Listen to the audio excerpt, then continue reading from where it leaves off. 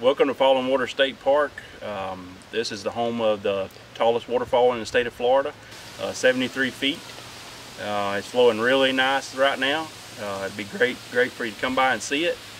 Uh, we've also added a new accessible walkway uh, that with a new overlook at the waterfall and a new overlook at the sinkholes, um, and has added some beauty to the park.